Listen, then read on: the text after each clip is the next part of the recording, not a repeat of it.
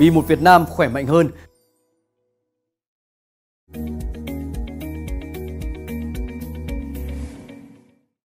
Xin kính chào quý vị khán giả. Quý vị đang theo dõi chương trình Dinh dưỡng khoa học vì một Việt Nam khỏe mạnh hơn của báo điện tử Sức khỏe và đời sống, cơ quan ngôn luận của Bộ Y tế.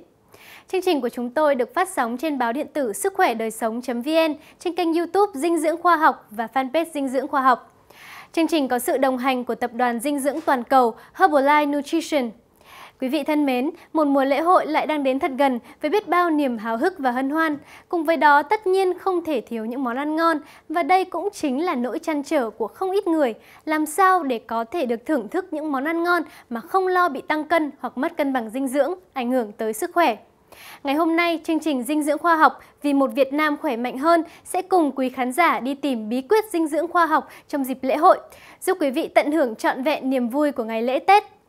Chương trình có sự tham gia của Phó Giáo sư Tiến sĩ Bác sĩ Vũ Thị Thanh Huyền, trưởng khoa nội tiết cơ xương khớp, Bệnh viện Lão khoa Trung ương, Phó chủ nhiệm Bộ môn Lão khoa, Trường Đại học Y Hà Nội. Phó giáo sư tiến sĩ bác sĩ Thanh Huyền từng nhận được giải thưởng nghiên cứu viên trẻ Hội Nội tiết vào năm 2011, công bố 10 bài báo quốc tế và 90 bài báo trong nước trên các tạp chí chuyên ngành, đồng thời tham gia rất nhiều chuyên đề tư vấn sức khỏe cộng đồng trên báo chí và truyền hình. Và một nhân vật đặc biệt sẽ cùng tham gia chương trình, đó là siêu mẫu Mạnh Khang, người sẽ dẫn dắt cuộc trò chuyện ngày hôm nay. Sở hữu các giải thưởng danh giá như giải bạc siêu mẫu 2015, giải nhất vẻ đẹp VTV 2016, top 16 Nam Vương siêu quốc gia. Mạnh Khang ngoài nỗ lực không ngừng trong phát triển sự nghiệp là một biên tập viên, một MC được yêu mến của VTV. Sự quan tâm hàng đầu của anh chính là gia đình, chăm chút từng bữa ăn cho những thành viên trong gia đình. Bản thân Mạnh Khang cũng là người vô cùng quan tâm đến vấn đề dinh dưỡng, làm sao để có một chế độ ăn uống vừa khỏe mạnh vừa giữ dáng là điều mà Khang luôn chú ý mỗi ngày. Và ngay sau đây, hãy cùng bắt đầu chương trình với mục Trò chuyện cùng chuyên gia. Chào đón quý vị quay trở lại với chương trình Dinh dưỡng khoa học vì một Việt Nam khỏe mạnh hơn và ngày hôm nay thì Mạnh Khang tiếp tục sẽ cùng với quý vị chia sẻ và cập nhật những dinh dưỡng, những thực đơn để giúp cho chúng ta khỏe mạnh hơn trong những cái ngày cuối năm này.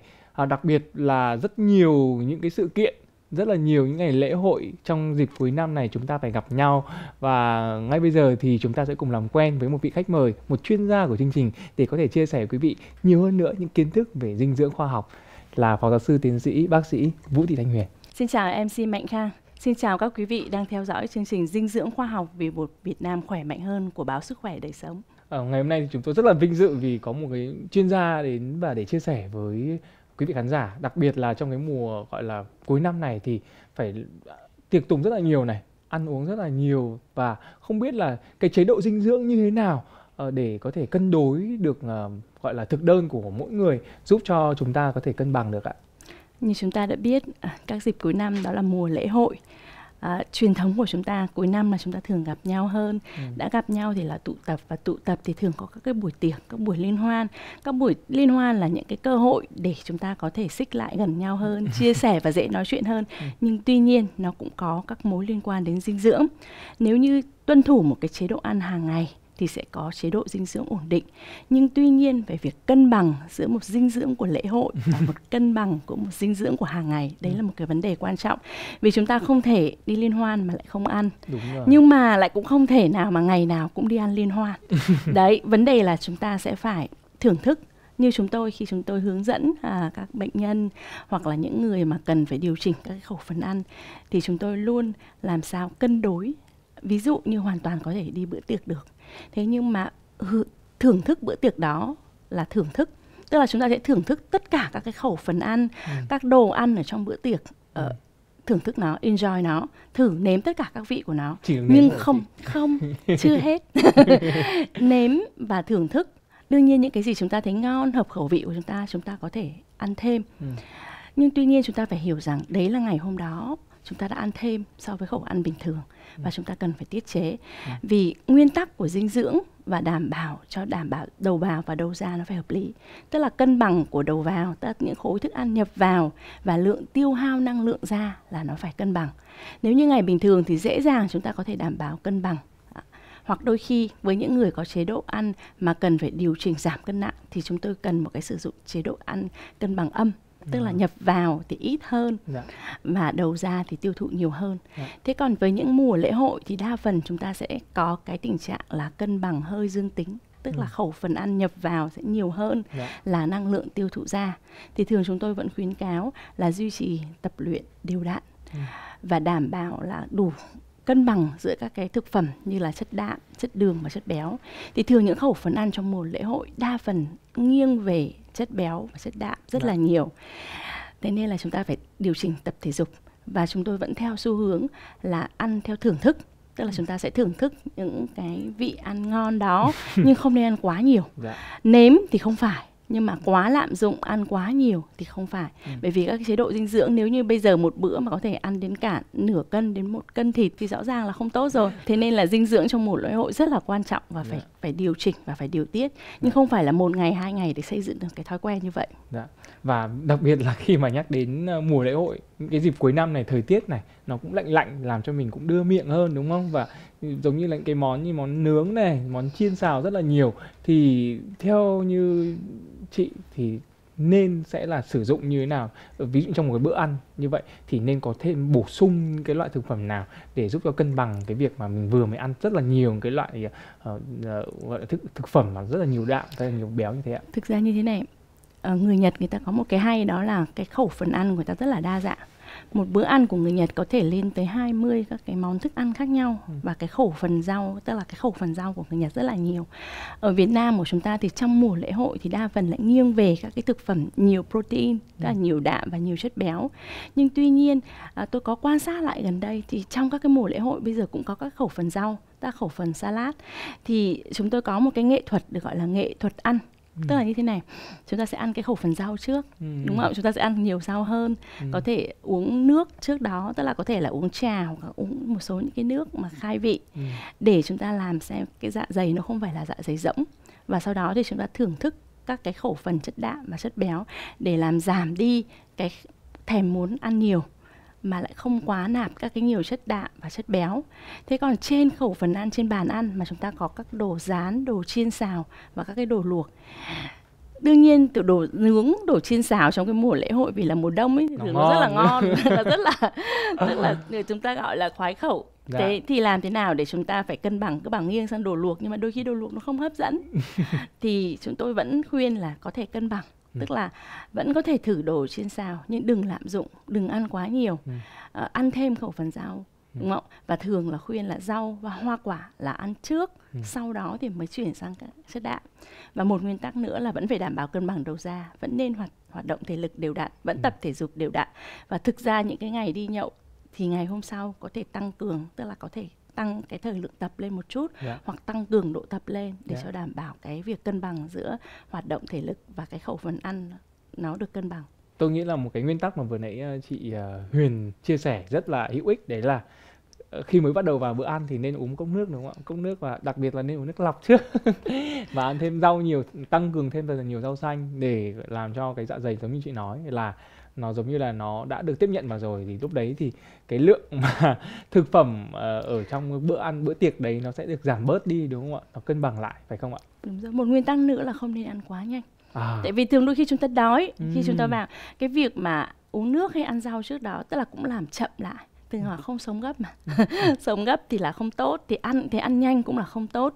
Thường thì làm chậm cái tốc độ ăn của mình lại ăn từ từ ăn chậm nhai kỹ tức là nó vừa thưởng thức được toàn bộ các khẩu vị của thức ăn đó nhưng làm cho chúng ta dạ dày cũng như là các cái tuyến à, dịch vị tiêu hóa nó tiết ra kịp thời và Dạ. chúng ta không bị ăn quá nhiều cũng không có cái cảm giác kích thích chúng ta phải ăn nhiều quá.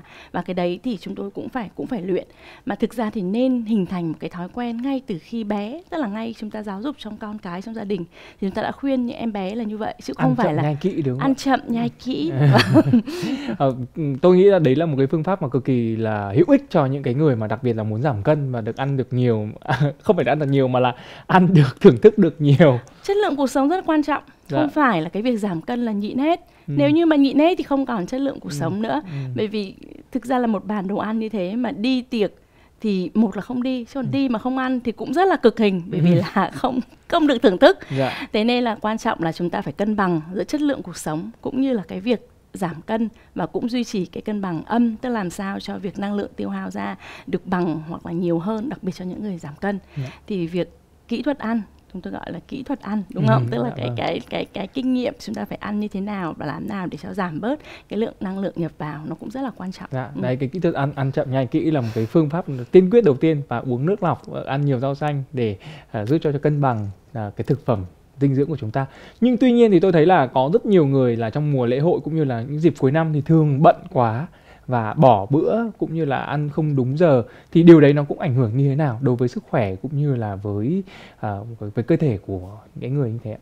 Thực ra như này cũng không phải những người tất cả ngay cả bản thân chúng tôi cuối năm cũng làm cái cái công việc tại vì vừa hoạt động ở bệnh viện vừa là giảng viên nhà trường và cuối năm chúng tôi có rất nhiều deadline ừ. rất nhiều những cái và đòi phải đến hạn phải trả và đôi khi cái việc mà ờ, quá giờ ăn hoặc là đôi khi có thể một số người quá bận mà có thể bỏ bớt đi một bữa là chúng ta gặp rất là thường gặp nhưng tuy nhiên thì thường như thế này cố gắng duy trì đều đặn đấy là lý thuyết nhưng tuy nhiên đôi khi thực tế trong những tình huống thực tế cái việc duy trì đều đặn đó nó không được như là chúng ta mong muốn thì chúng ta sẽ cố gắng làm sao duy trì đều đặn nhất có thể không nên bỏ bữa thế còn nếu như dự kiến chúng ta làm việc nên có kế hoạch chẳng hạn như hôm nay tôi được mời đến trường quay đúng không được nói chuyện với cả mc à, mạnh khang ừ. thì tôi cũng phải có kế hoạch tôi cũng có chuẩn bị trước ừ. thì có thể chúng ta biết là cái giờ quay của chúng ta có thể lố giờ hơn thì ừ. chúng ta có thể chuẩn bị những cái khẩu phần ăn nhẹ ăn tạm để cho nó cảm giác nó bớt cái bữa đói đấy. Dạ. vì nếu như chúng ta đói quá thì lúc mà chúng ta có thức ăn thì chúng ta ừ. sẽ nạp rất là nhanh và ừ. năng lượng nạp vào rất là nhanh và nhiều lần như thế thì tạo thành một cái thói quen ăn uống không tốt Dạ. Và có một cái câu hỏi tôi nghĩ là rất là nhiều khán giả quan tâm đấy là khi mà việc mà ăn có quá nhiều dầu mỡ những cái đồ mà thừa đạm thừa chất béo như thế trong cái mùa lễ hội như này thì thường sẽ mắc phải những cái căn bệnh như nào sẽ có những cái hậu quả như nào xã hội bây giờ nó theo xu hướng không phải là chỉ có mùa lễ hội đâu mà thập niên hai thập niên lại đây là đã chuyển dịch. Chúng ta đã sống gấp hơn sống nhanh hơn công nghiệp hóa nhiều hơn. Ừ. thì cái tỷ lệ những cái bệnh mà rối loạn chuyển hóa như đái tháo đường này, thừa cân này, béo phì, rối loạn chuyển hóa lipid tăng rất là nhiều liên quan đến vận động thì ít hơn, đồ ăn nhanh thì nhiều hơn và các cái lễ hội nó cũng gia tăng Đã. Dạ. nên các cái bệnh liên quan đến chuyển hóa cụ thể là tỷ lệ bệnh tim mạch này bệnh tỷ lệ tim mạch gia tăng hàng đầu và nó ừ. cũng làm nguy cơ gây tử vong hàng đầu ừ. bệnh đái tháo đường rối loạn chuyển hóa lipid ừ. rồi béo phì tất cả ừ. cái đấy đều gia tăng và cái độ tuổi béo phì nó không chỉ ở những cái người trung niên đâu và đã gặp rất nhiều ở những độ tuổi những em bé kể cả độ tuổi tuổi tin hoặc tuổi tiền học đường cũng béo phì rất là nhiều À, như vậy là có thể thấy là đối với những cái người mà có tuổi và đặc biệt là tất cả mọi người trong cái thời điểm mà giao mùa chuyển giao uh, cuối năm thời tiết lạnh thì cần phải vừa việc bổ sung những cái loại thực phẩm giống như là gừng tỏi này và đặc biệt là phải tập luyện nhiều hơn đúng không ạ? Và được nhắc khi đến với những người cao cao tuổi những người mà có tuổi đi không phải là người cao tuổi thì có rất nhiều những người thì nói với cả tôi là ôi rồi tao già rồi 40 50 tuổi rồi bây giờ đẹp xấu gì cho ai nữa cứ ăn uống thoải mái đi. Và nó cũng đã gây ra những cái hệ quả đến gọi là sức khỏe rất là nhiều bệnh. Và không biết là đối với bác sĩ thì có những lời khuyên nào về chế độ dinh dưỡng cho những người mà à, trung tuổi khi mà cái lượng ừ, gọi là thực phẩm vào cơ thể nó không còn được hấp thu giống như người trẻ nữa trước khi đi vào câu trả lời của của MC Mạnh Khang thì chúng ta phải bổ sung đầy đủ các cái vitamin khoáng chất đúng ừ. không? Đặc biệt là các cái à, yếu tố vi lượng cho người cao tuổi thì nó rất là quan trọng. Chính những cái đấy nó làm gia tăng sức đề kháng. Yeah. Dạ. Chẳng hạn như các vitamin E này, vitamin nhóm A và nhóm C. Thế thì quay lại cái câu hỏi đấy, nhiều rất nhiều người cao tuổi và đặc biệt người cao tuổi lại có nhiều các cái bệnh lý nền chẳng hạn ừ. đái đường rồi huyết áp xong rồi là thừa cân béo phì rối loạn chuyển hóa lipid đến tâm sự bác sĩ bác sĩ cứ nói bây giờ tôi ngoài 70 rồi tôi ngoài 80 rồi bác sĩ cứ bảo tôi nhịn ăn hết cái nọ ăn hết cái kia quá lắm tôi sống 5 năm 7 năm nữa ừ. tại sao tôi phải nhịn đến như thế ừ. và liệu tôi nhịn thì tôi cũng có sống được thêm nữa hay không ừ. không phải như vậy chúng ta phải phân tích là làm sao sống nhưng đảm bảo các cái chất lượng cuộc sống chúng tôi không hề bắt bệnh nhân ăn kiêng ừ. nghe ăn kiêng nó rất là nặng nề ừ. nhưng mà điều tiết lại điều chỉnh lại các khẩu phần ăn cho hợp lý đúng không? Tức là làm sao để cái khẩu phần giữa chất đường chất béo chất đạm chất bột đường các yếu tố vitamin và khoáng chất là phải đầy đủ. Và không phải là ăn không được thưởng thức. Đi tiệc hoàn toàn ăn được. Thậm chí bệnh nhân của chúng tôi bệnh nhân tiểu đường chẳng hạn bệnh nhân đến vẫn có những cái nốt vào. Ngày hôm nay huyền ạ ngày hôm nay bác đi ăn tiệc. Bác ăn thêm một chút nhưng về bác có thể điều chỉnh thuốc của bác có Dạ, thể uh, trích thêm ít insulin. Và tôi nốt vào đây là tôi có điều chỉnh Dạ. thế nên chúng ta sẽ cần vẫn cân bằng và vẫn đảm bảo người cao tuổi đảm bảo điều chỉnh khẩu phần ăn hợp lý không ăn cái gì quá nhiều Dạ. nhưng cũng không kiêng toàn bộ không phải nhịn cái gì cả Dạ. vẫn ăn đầy đủ hết thích cái gì vẫn được ăn nhưng tuy nhiên không được ăn quá nhiều ví dụ những người mà có bệnh lý tim mạch và tăng huyết áp thì cái khẩu phần ăn không được ăn quá nhiều muối nên là hạn chế ờ, hàm lượng muối nó khoảng độ 6 gram một ngày tức là khoảng một thìa cà phê. Những người mà có bệnh tiểu đường thì không nên ăn quá nhiều những cái đồ ngọt cái đường hấp thu nhanh. Rồi các cái hoa quả ngọt như nhãn vải xoài mít thì bớt cái khẩu phần đấy đi vẫn được thưởng thức. Dạ. nhưng mà bớt đi. Thế còn lại những cái loại thức ăn mà có thể bớt cái hàm lượng tức là chỉ số đường máu nó ít hơn như các cái loại rau xanh đúng không? Một số các cái củ quả không ngọt à, thì có thể ăn được nhiều hơn nhưng cũng không được lạm dụng. Thế nên là hướng dẫn với người cao tuổi chúng tôi hướng dẫn là làm sao điều tiết lại chế độ ăn vẫn thưởng thức lại toàn bộ không kiêng gì cả chỉ có điều chỉnh không được nạp quá nhiều. Và bên cạnh đó cái việc làm sao hấp thu thay đổi hệ tiêu hóa của người cao tuổi thay đổi tại đôi khi em lúc dịch vị tiết ra chưa đủ nhu động ruột chưa đủ nên cảm giác đầy bụng khó tiêu không có cảm giác thèm ăn đúng không? Hoặc là hệ răng lợi cũng có thay đổi. Dạ. thế nên nên là vẫn động viên là thích ăn loại gì thưởng thức với loại gì tốt thì vẫn ăn nhưng không được lạm dụng Dạ. quá nhiều Dạ. thế còn những cái loại khẩu phần ăn nào mà không tốt cho cái bệnh lý nền của, hoặc là cái bệnh đồng mắc của người đó Ừ. thì chúng ta nên điều chỉnh bớt hạn chế bớt đi không có kiêng cái gì cả À, đối với những người cao tuổi thì đã như thế rồi nhưng tuy nhiên thì đối với những người như mạnh khang này đối với những người mà có bệnh lý nền và mong muốn giảm cân và đặc biệt là trong cái thời điểm mà cuối năm này thì rất là bận mà vừa phải ăn à, tiệc này và vẫn muốn giảm cân hay là vẫn muốn là bảo đảm sức khỏe vẫn phải cung cấp đầy đủ dinh, dinh dưỡng.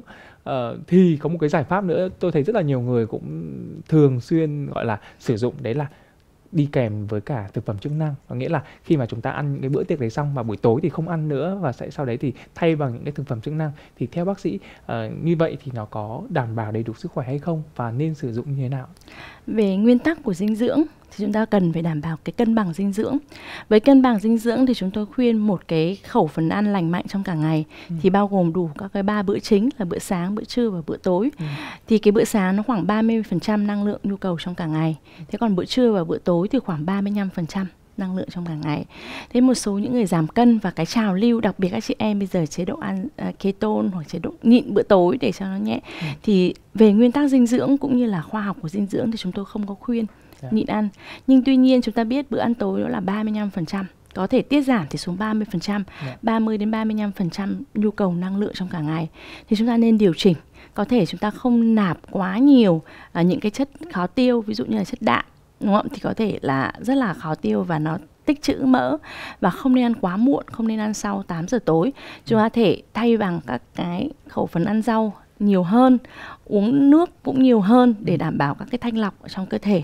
Nhịn ăn thì tôi khuyên là không nên, nhưng có thể sử dụng à, những cái thức ăn thay thế Dạ. mà vẫn đảm bảo nhu cầu dinh dưỡng trong đảng cả ngày, vẫn đảm bảo được cái hoạt động trong cả ngày Ừ. hợp lý thì có thể cân nhắc và để đảm bảo cho cái nhu cân bằng năng lượng âm Dạ. thì mới giảm được cân tức Dạ. là đầu ra phải nhiều hơn đầu vào Dạ. tức là tiết chế một chút cho bữa ăn tối Dạ. nhịn thì chúng tôi khuyên là không nên Dạ, vâng. nhưng có thể giảm bớt cái khẩu phần ăn tức là hàm lượng kilocalo ở trong cái bữa tối Ừ. thì có thể cân nhắc Dạ. nhưng tuy nhiên chúng ta cũng đừng quá à, Lạm nghĩ rằng lạm dụng đúng rồi Ừ. cái bữa tối bởi vì nó tùy vào cái chế độ hoạt động của người đó Ừ. có những người có những chế độ làm ca chẳng hạn Dạ. thì người ta sẽ là thay đổi từ ca sáng sang ca tối chẳng hạn thì đôi khi là cái khẩu phần ăn cũng cái bữa ăn người ta cũng cũng cũng thay đổi chứ không Dạ. phải là không. Dạ. chứ không còn với những người mà làm công chức như tôi và mạnh khang thì có thể chúng ta điều tiết cái bữa ăn tối. Dạ, vậy là ngoài việc mà ăn uống bình thường thì vẫn có thể kết hợp được cùng với những cái bữa ăn thực phẩm chức năng lành mạnh và hợp lý. Rõ nguồn gốc. Rõ nguồn gốc. Và thường thì có thể thay thế có nghĩa là có những người ta thay thế là một ngày ăn bằng ba cái bữa như thế có được hay không hay là hay là chỉ chỉ nên là sử dụng một bữa hay là hai bữa như thường nào? thì như thế này nếu mà thay toàn bộ thay toàn bộ thì thường những người ở cái pha giảm cân Ừ. tức là ờ, để duy trì cân nặng giảm thì chúng tôi có hai cái pha pha thứ nhất gọi là pha giảm cân và pha thứ hai gọi là pha duy trì cân nặng giảm Ừ. ở cái pha giảm cân đối với những người quá thừa cân Dạ. thì chúng ta phải dùng các cái bữa ăn thay thế dạ. nhưng tuy nhiên các bữa thay thế đấy phải được khuyến cáo bởi các nhà dinh dưỡng à. hoặc các nhà lâm sàng dạ. như chúng tôi khuyến cáo cụ thể dạ. không được tự động thay thế toàn bộ ừ. bởi vì không thể nào một người bình thường uh, chúng tôi học y rất là nhiều cả như cá nhân tôi là tôi học 6 năm uh, đại học 3 năm nội trú và vẫn tiếp tục học nữa tức là quá trình học là khoảng độ mười mấy năm hai chục năm dạ. mới ra được cái tiết chế của cái khẩu phần ăn chứ dạ. không phải là chúng ta chỉ có mới mới suy nghĩ mới đọc tài liệu và chúng ta đã đưa ra được cái khẩu phần ăn dạ. nhưng tuy nhiên nó cũng không quá khó dạ. một đảm bảo chúng ta đảm bảo các cái dinh dưỡng và nếu như bây giờ các cái thực phẩm có nguồn gốc một cách rõ ràng thì nó có cái số kilocalo dạ. cũng như có cái khẩu phần của chất đạm chất đường chất béo các vitamin cụ thể ở trong đấy dạ. thì làm rõ và quy được cái quy đổi năng lượng tương đương để mình thì để vào. mình hấp thu vào thì ừ. mới được nhưng tuy nhiên nói thì như vậy nhưng không phải dễ ai cũng dạ. làm được dạ. thế nên cái việc thay thế toàn bộ thì theo tôi là không nên yeah. Dạ. nó không nên ở cái chỗ là nó rất là khó yeah. Dạ. đặc biệt đang từ chế độ ăn bình thường mà thay toàn bộ người ta cũng không thể nào người ta uh, thích nghi được ngay yeah. Dạ. nên là thay thế từng bữa một cho đến yeah. cái nhu cầu thích nghi yeah. đương nhiên ở những cái pha giảm cân thì cái nhu cầu năng lượng đưa vào phải thấp hơn yeah. để cho đạt đến cân nặng uh, mong muốn sau đó ở pha duy trì cân nặng thì có thể điều chỉnh yeah. để chế độ ăn nới lỏng hơn một chút và với chị uh, Huyền này em thấy là rất là nhiều người rất là nhiều gia đình có cái quan niệm là nhồi, hơi nhồi một tí. Cái dịp này là muốn để cho con nó khỏe, ăn thật nhiều, ăn thật nhiều. Và cái dưỡng chất nó cũng, em nghĩ là cũng không biết là nó có có bị thừa hay không và những cái, có gặp vấn đề gì đối với những trẻ em mà khi bị ăn có quá nhiều dinh dưỡng như vậy thực ra thì trẻ con lại cũng rất là quan trọng. Bởi vì đa phần bây giờ chúng ta biết rồi, các lối sống thay đổi, các cái thực phẩm cũng dồi dào hơn và cách tiếp cận của các bố mẹ ờ, với các cái khẩu phần ăn của trẻ con cũng cũng thay đổi. Chính vì vậy thì đa phần các trẻ con bị thừa, nhu cầu năng lượng là thừa ừ. và chúng ta đã biết nếu như với các nhà dinh dưỡng hoặc những nhà là nội tiết như chúng tôi, thì cái việc hai năm đầu của bé đảm bảo một cái cân nặng ổn định thì nó sẽ là phát triển rất là tốt thường thấy những bé trong 2 năm đầu đời mà thừa cân, béo phì thì có nguy cơ phát triển những cái bệnh lý, đặc biệt các cái bệnh lý mạng tính à, như tăng huyết áp, đái tháo đường, béo phì, ừ. vân vân. Thế nên là hai năm đầu cái cân nặng duy trì cân nặng lý tưởng rất là tốt. Sau đó thì tiếp đến là 6 năm và sau đó thì đến độ tuổi học đường. Như vậy không nên nhồi quá mà đảm bảo nhu cầu thường thì ngày xưa các cụ vẫn nói là ăn theo cái nhu cầu của bé dạ. nhưng như những bé mà quá ăn ít thì lúc chúng ta mới cần điều chỉnh dạ. còn thường thì trẻ con nó có nhu cầu ăn chúng ta sẽ ăn và chúng ta vẫn cân đối cũng như là tất cả các cái đối tượng khác thì chúng ta cũng cần phải đảm bảo à, các cái dinh dưỡng hợp lý từ chất đường, chất đạm, chất béo, protein, vitamin và khoáng chất. À, những cái khẩu phần mà cho bé cần cao hơn, ví dụ tăng trưởng chiều cao như là canxi hoặc những cái để cho các cái phát triển à, ví dụ sữa hoặc là những cái liên quan đến phát triển ờ, trí não của bé thì có được khuyến cáo cụ thể bởi các nhà dinh dưỡng cho các đối tượng cụ thể. Còn bên cạnh đó thì không ép bởi vì thừa cân cho bé nó làm nền tảng cho rất nhiều các nguy cơ tiếp theo trong cuộc đời. Vậy nên không khuyến cáo. Thương con nhưng mà đừng có nhồi nhiều quá đúng không? Không nên nhồi nhiều dưỡng và nên cân bằng và hợp lý lại Dạ vâng. À. Rất nhiều những cái thông tin uh, hữu ích đúng không ạ? Quý vị khán giả có thể theo dõi trong chương trình ngày hôm nay về uh, chế độ ăn trong dịp cuối năm này làm sao bổ sung dinh dưỡng để có thể hợp lý hơn. Tuy nhiên thì cái phần sau của chúng tôi tôi nghĩ là khán giả cũng rất là mong chờ đấy là chuyên mục căn bếp khoa học. Ngay sau đây sẽ cùng với chuyên gia chúng ta tư vấn về những cái thực đơn dinh dưỡng đến với quý vị khán giả. Trong cuộc sống chúng ta có quyền lựa chọn chúng ta được tự do lựa chọn. Sức sống là một lựa chọn. Tôi chọn sống tràn đầy năng lượng. Nutrition Hãy thưởng thức những sản phẩm dinh dưỡng đa dạng tuyệt vời. Được khách hàng tin chọn. Được các vận động viên hàng đầu tin chọn được khuyến nghị bởi các chuyên gia dinh dưỡng. Bạn có quyền lựa chọn. Hãy chọn Herbalife Nutrition.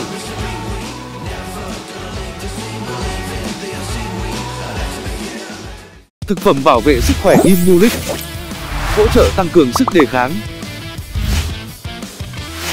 Với hệ dưỡng chất gồm kẽm, vitamin C, vitamin D3 và nấm men Epicor đã được chứng minh lâm sàng Sản phẩm có hương vị thơm ngon với chanh, mật ong và gừng. Thực phẩm bảo vệ sức khỏe Immulic giúp hỗ trợ chống oxy hóa và tăng cường sức đề kháng. Không dùng cho người mẫn cảm với bất kỳ thành phần nào của sản phẩm. Thực phẩm này không phải là thuốc và không có tác dụng thay thế thuốc chữa bệnh.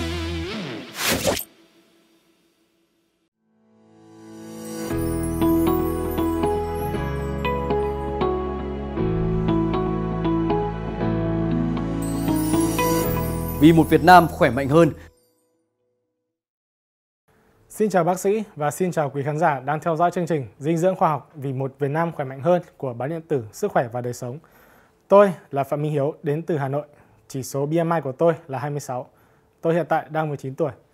Cho các món ăn ngày Tết, tôi thích ăn nhiều món, đặc biệt là thích ăn nem và các món canh nấu với sườn, khô gà và bò khô. Tôi muốn hỏi bác sĩ, tôi nên ăn các món khoái khẩu đó với liều lượng như nào để không ảnh hưởng xấu đến sức khỏe? Vâng, cảm ơn câu hỏi của quý khán giả. Trong ngày Tết thì chúng ta thấy có rất nhiều các loại canh rất là ngon, canh truyền thống và thường là canh thì hay nấu với cả sườn và cái hàm lượng mỡ nó rất là cao. Bên cạnh đó thì các món ăn vặt đúng không? À, các loại à, khô gà, khô bò rồi các loại hạt rồi các loại thực phẩm bánh kẹo đều có cái hàm lượng đường cũng như cái hàm lượng dinh dưỡng cũng như năng lượng đưa vào cơ thể rất là cao. Thì cũng như trong cái phần chia sẻ à, trong chương trình thì tôi cũng nói cái việc mà chúng ta có thưởng thức về đảm bảo khi chúng ta quây quần bên gia đình gặp người thân thì chúng ta vẫn có thể ăn nhưng tuy nhiên các cái hàm lượng thì nên cân bằng vừa phải ví dụ canh thì cái khẩu phần ăn đấy chúng ta có thể ví dụ canh nấu với măng. Thì đôi khi lắm lúc mỡ nó đã ngấm hết vào cái măng đấy rồi nước cũng có các khẩu phần mỡ nó cũng rất là nhiều thì chúng ta có thể điều tiết không nên ăn quá nhiều.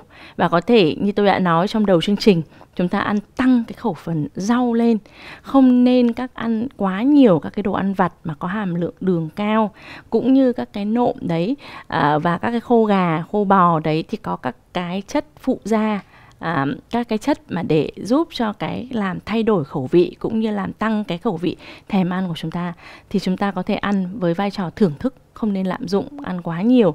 Và thường thì để tránh cái thói quen là chúng ta để trước mặt bởi vì có thể ngồi xem tivi à, tết cũng rảnh rỗi và chúng ta có thói quen là nhặt lên để ăn thì chúng ta đừng để những cái món đấy gần trong tầm tay với của chúng ta để hạn chế cái thói quen ăn vặt. Tôi nên kết hợp rau quả chế biến bằng cách nào và với liều lượng bao nhiêu để có thể cân bằng dinh dưỡng khi kết hợp cùng các món khoái khẩu nói trên?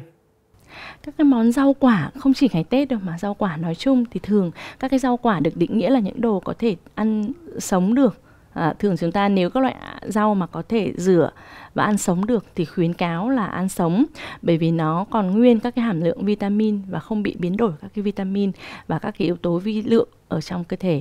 Thế còn nếu như các loại rau mà phải luộc thì chúng ta luộc vừa chín tới, không nên luộc quá kỹ vì mất đi các loại vitamin thiết yếu ở trong cơ thể. À, ăn nhiều cái khẩu phần rau tăng lên và như tôi nói, thường thì nên ăn cái khẩu phần rau vào trước các cái bữa ăn hoặc đầu các cái bữa ăn để giảm bớt cái nhu cầu năng lượng của các món khác. À, như vậy là thông qua cuộc trò chuyện ngày hôm nay thì bác sĩ Huyền đã chia sẻ đến quý vị khán giả rất nhiều những thông tin hữu ích về chế độ dinh dưỡng cũng như là cách để chăm sóc lên thực đơn cho cả gia đình của mình và hy vọng rằng là với những thông tin này thì quý vị khán giả sẽ có thể mạnh khỏe hơn này và có một cái dinh dưỡng thật là tốt cho những người thân yêu của chúng ta. Một lần nữa cảm ơn bác sĩ Huyền rất nhiều đã đến với chương trình ngày hôm nay. À, xin chào Mạnh Khang và xin chào khán giả của chương trình.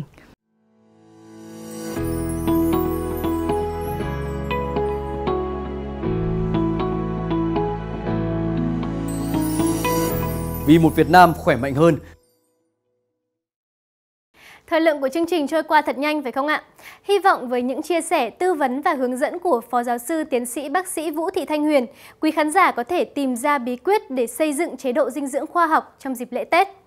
Những ngày làm chương trình xin trân trọng cảm ơn Phó Giáo sư Tiến sĩ Bác sĩ Vũ Thị Thanh Huyền và siêu mẫu Mạnh Khang đã tham gia cùng chúng tôi ngày hôm nay.